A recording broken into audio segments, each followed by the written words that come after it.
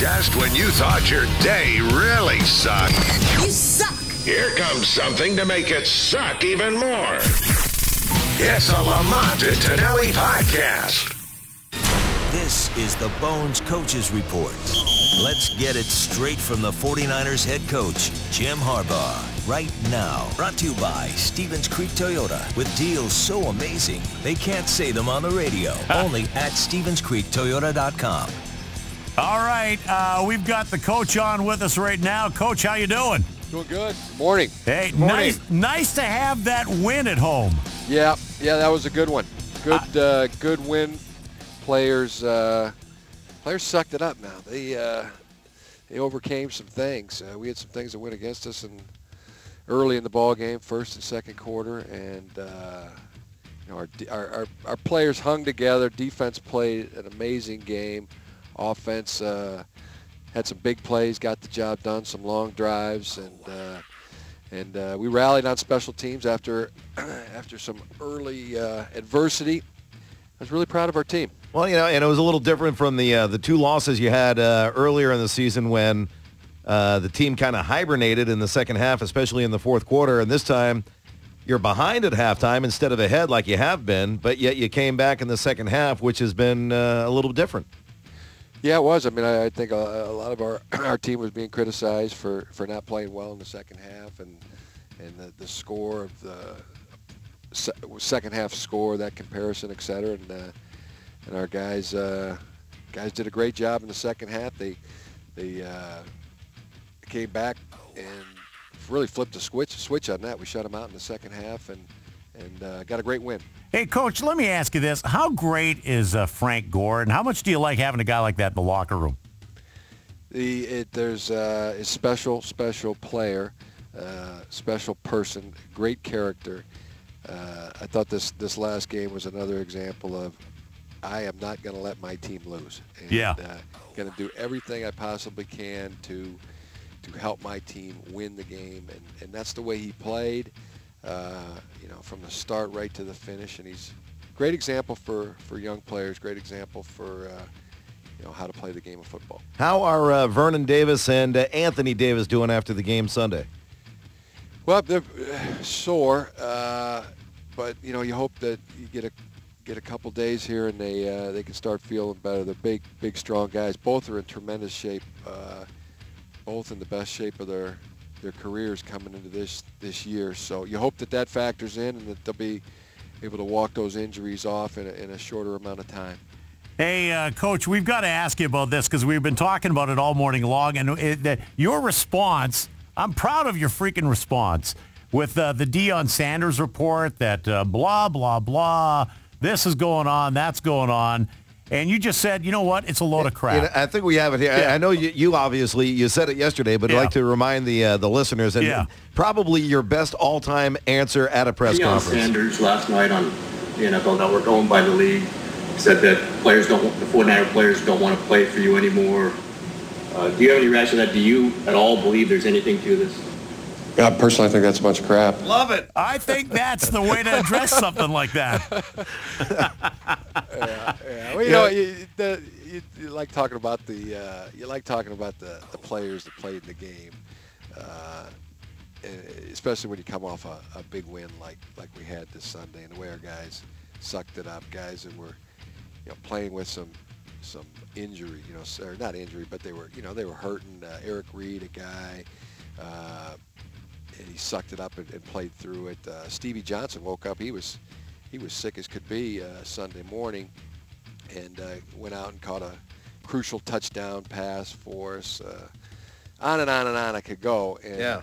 And especially the way the guys responded to the the early adversity with competitiveness and and really refusing to to lose and you know we got to find a way to win and and um, that's the kind of things that I was looking forward to talking about. Uh, Yeah. You know, yesterday and today. Yeah, yeah. Well, I personally, I think that's a load of crap. But, uh, you know, That's an we, we we are uh, developing a, a list of uh, some of your best. I mean, that is the all time. I think that's at the top of my list. not- no, no, that's not number one. I've got a number one here. oh yeah. Yeah, the gobble gobble. Around, that's just a bunch of gobble gobble. That to me is still my favorite one. And then you had also had a good one with us, I think, uh, last season when uh, Yeah, we said fail to see the humor. Yeah. Yes. the fail to see the humor in that. Uh, you guys are a lot of fun. Well, coach, hey, You're you the, know what? You're the fun. You're the fun. Well, uh, no, but at least it, uh, it, you came out, and, and I think some people, when it comes to unnamed sources, and you addressed the unnamed sources Yeah. yesterday as well, saying that, um, you know, when people name unnamed sources, Yeah. you don't want to put a lot of stock in it because if you have something you want to say, you should identify yourself. exactly. And for you to say it was a bunch of crap, I think a lot of people think the same thing. Now, I applaud you for that. whether there is something or, or not to the story comes out later on, but for right now, on. it's a bunch of crap. Let, let me tell you this, and I just want to add, I played sports growing up, and it was hockey. It wasn't football. But who said you're supposed to like your coach anyway? This is not a popularity contest, right? That's what I would say to Deion Sanders. Well, a couple of things I would say to you is uh, number one, I, I totally agree with you. I mean, it's like if you do have a good story to tell, Yeah. you, you want your name on it. You know, I, I you know, you want to put your name on it. I would, I would think. And, Yeah. Uh, secondly, I just uh, the the way our guys, the way our players, the way our coaches, you know, have always gone about things is is they, they don't they don't pay a lot of attention to the noise. And, Yeah. Uh, you know, if there's outside the the team framework, I mean, somebody wants to divide, divide, divide, then our guys respond with unite, unite, unite. Uh, very proud of that, and it's a joy to coach guys like that. You know, I, and coach, I didn't play a ton of sports. My athletic career ended after high school.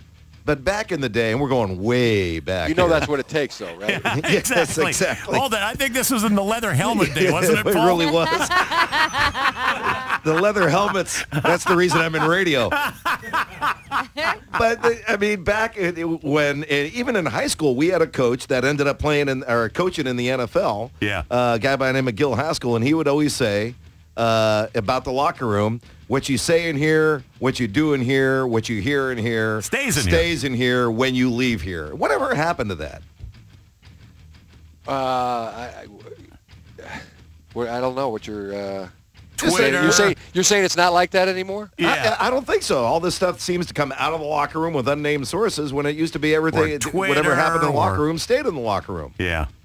Well, you're ma- you're making the assumption that it's coming from the locker room, Yeah, Paul. Well, that, that's the that's the assumption that was made yesterday in the uh, press conference. and you- you're perpetuating it. And I say, and I say it's a load of crap. I'm All not the coach. There All we right. go. Let's- all right, we'll end it Let's, on that we gotta one. yeah. Let's move on to a big week here. We got the Hey, now, did you watch we Monday got the night? A's. We got the A's today. Did you watch Monday Night Football last night? I did. I did. I watched it. And that was really something.